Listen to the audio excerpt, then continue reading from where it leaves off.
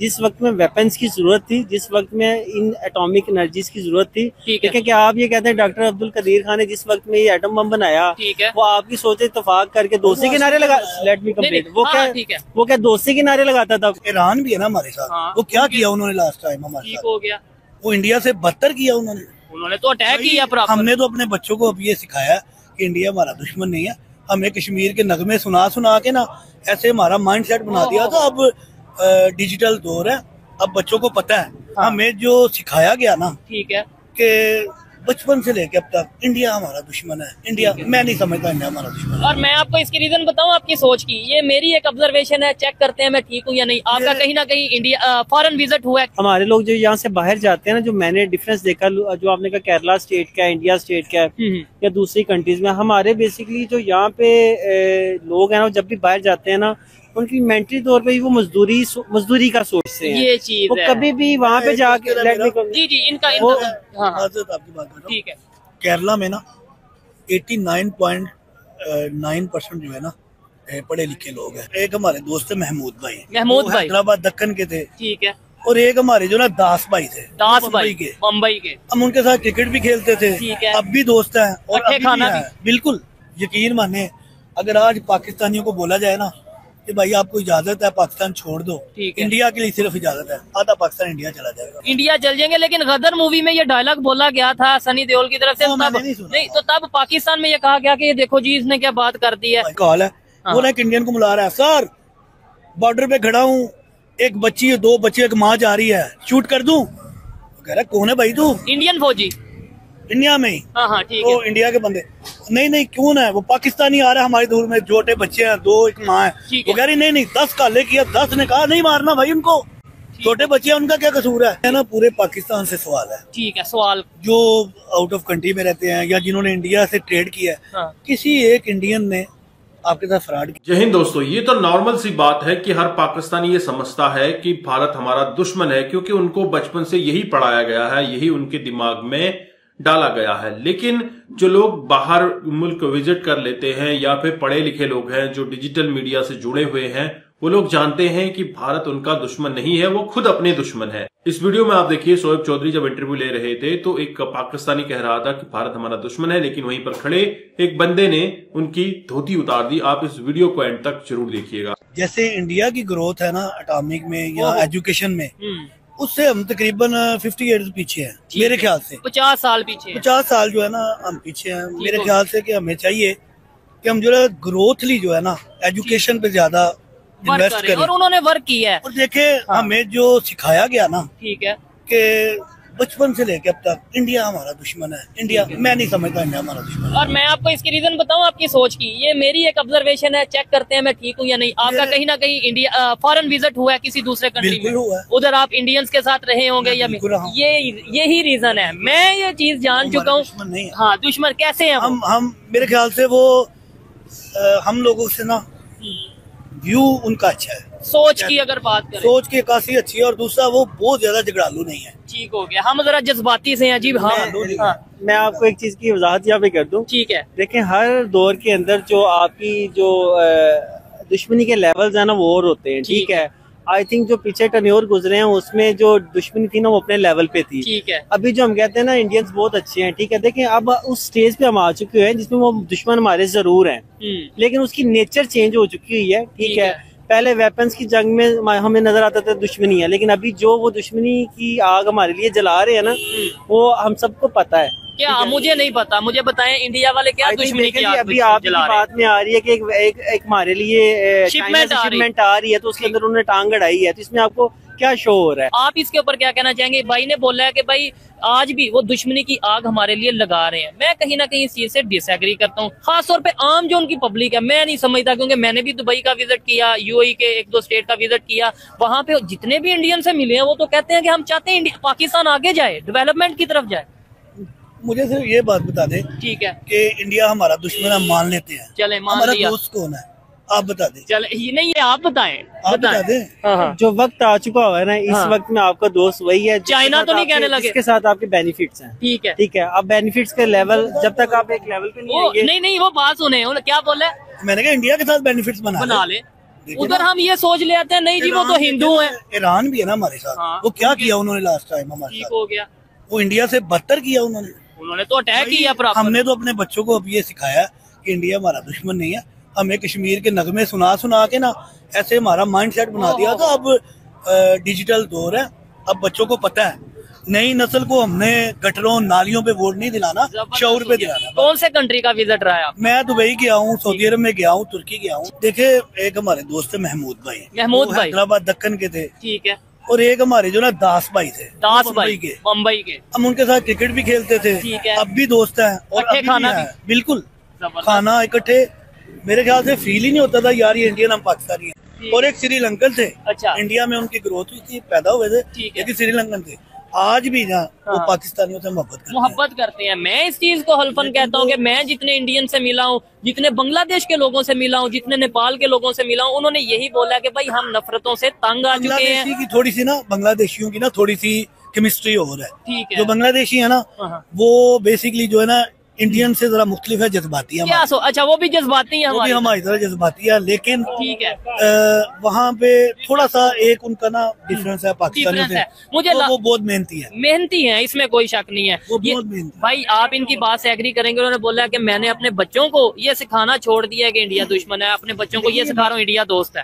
आपने यही यही बोला है? हाँ जी यही बोला ठीक है। हाँ, ये बात अच्छी है हमें सिखाना चाहिए। ये चीज़ हमें स्कूल कॉलेज यूनिवर्सिटी में बतानी चाहिए। ये चीज़ हमें मीडिया में बतानी चाहिए आज पाकिस्तान में ये सिचुएशन है कि भाई इंडिया का कोई नाम ले ले गया ना तो ये कहेंगे ये इंडिया का नाम ले रहा है ये इंडिया का एजेंट लग रहा है। इंडिया की तारीफ़ कर रहा है ये कुछ ना कुछ इसमें गड़बड़ है। मैं यहाँ पे ना एक चीज़ कंप्लीट करूँगा। देखिए आपने ये जो प्रेजेंटेशन की है ना ये वहाँ पे रहने वाले लोगों की प्रेजेंटेशन की है ठीक है? लेकिन वहाँ की ब्यूरोक्रेसी वहाँ के जो गवर्नमेंट लेवल के आपके डिपार्टमेंट्स हैं वो आपके साथ क्या कर रहे हैं? हम्म। लेकिन आप उनको भी पहले पॉइंट आउट करें ना। ठीक है। आप कर रहे हैं एग्ज़ाम्पल दें। एग्ज़ाम्पल देखें ना कि आपके अभी रावी के अंदर जो पानी है डिपार्टमेंट्स हैं जो ये तो वो डिपार्टमेंट डील कर रहे हैं ना ठीक हो गया वो आम पानी रोक बंदे दिया का- उन्होंने। अच्छा, आम बंदे का आम बंदे का क्या रोल है उसमें? आम बंदा तो देखो हर हर मुल्क का जो बंदा है हाँ। वो मेहनत करने के लिए ये भी गए मेहनत करने के लिए वो भी गए। ठीक है। इनको उन्होंने बिज़नेस एक्सचेंज कर लिया उन्होंने कर लिया। आप- अच्छे हुए जा रहे हैं ट्रिप करने जा रहे हैं एंजॉय कर रहे हैं ठीक है आप हाँ। लोगों को ब्लॉग्स चाहिए है। आप लोगों ने अपनी सोच को चेंज किया है एक्सचेंज कर लेकिन देखें जो तो वही सोच हम यहाँ पे लाना चाहते हैं ना। सुने। जी। मैं मैं एग्री करता हूँ कि मैं चेंज कर ली। ठीक है। लेकिन देखें हमारा कोई प्राइम मिनिस्टर हमारा कोई वज़ीर वो अगर उनके बारे में अच्छी पॉजिटिव सोच नहीं रखता तो देन आपकी प्रेजेंटेशन अच्छी नहीं हो सकती ये मैं इस चीज़ से एग्री करता हूँ बहुत से लोग अब इस टाइम अब इस टाइम जो लेट मी कंप्लीट अब इस टाइम जो इंडिया की ब्यूरोक्रेसी या गवर्नमेंट लेवल पे रिलेशन मेकअप नहीं अच्छा कर रही ठीक है। तो आप कैसे उसको रिलेशनशिप में ले रहे हैं? ठीक है आप इस पे क्या कहना चाहेंगे भाईजान इन्होंने जो बात की है। मैं ना एक मिसाल देता हूँ भाई को। ठीक है और मैं भी एक मिसाल दूँगा रावी वाली मिसाल दूँगा इनको। ठीक है। एक फौजी है ठीक है। वो ना एक कॉल कर रहा है। प्रैंक कॉल है। हाँ। वो ना एक इंडियन को बुला रहा है सर बॉर्डर पे खड़ा हूँ। एक बच्ची है दो बच्चे एक माँ जा रही है। शूट कर दूँ? कह रहा कौन है भाई तू? इंडियन फौजी। इंडिया में ही। हाँ हाँ ठीक है। तो इंडिया के बंदे। नहीं नहीं क्यों ना? है वो पाकिस्तानी आ रहा है हमारे दूर में छोटे बच्चे हैं दो एक माँ है। वो कह रही नहीं नहीं दस काले किया दस ने कहा नहीं मारना भाई उनको। छोटे बच्चे हैं उनका क्या कसूर है? ज़बरदस्त। सिंपल सी बात है जो डिप्लोमेटिक तल्लुक था उनके जाती तौर पे बड़े अच्छे हैं। नवाज़ शरीफ के घर मोदी हाँ, आया मोदी आया यार बताए उनके जाती तल्लुक बहुत अच्छे हैं।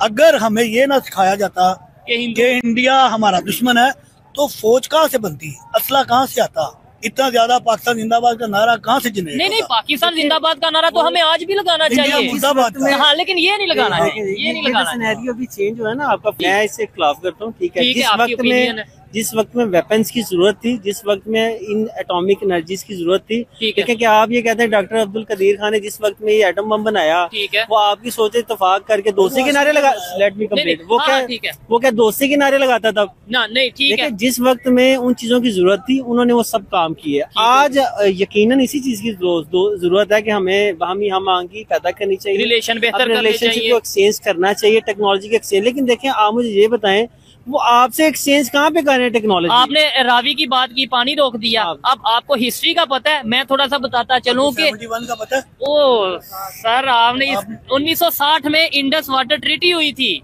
जिसमें ये मुआदा हुआ था कि रावी का पानी इंडिया के मतलब वो है कि वो उसके इस्तेमाल में होगा उसका कंट्रोल होगा। अगर वो इतनी देर तक देते रहे हैं तो वो अपनी मर्ज़ी से देते रहे हैं। हमने इतनी देर सर सवाल तो फिर ये बनता है हमने डैम क्यों नहीं बनाए?